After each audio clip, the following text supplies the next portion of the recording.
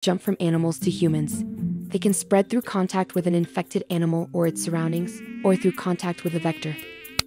A vector borne illness, like malaria, occurs when an insect, in this case a mosquito,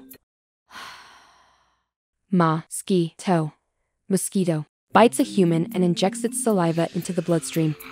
Ew.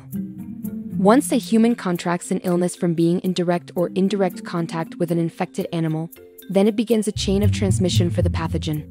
Rising temperatures, deforestation, and species displacement are just a few of the factors that contribute to the disease outbreaks that we are hearing more and more about. Experts say we'll likely be seeing a lot more of them in our lifetime, but this phenomenon is nothing new. To limit exposure to zoonotic pathogens, we can keep up with immunizations, wear insect repellent, and resist the urge to pet furry friends when hiking.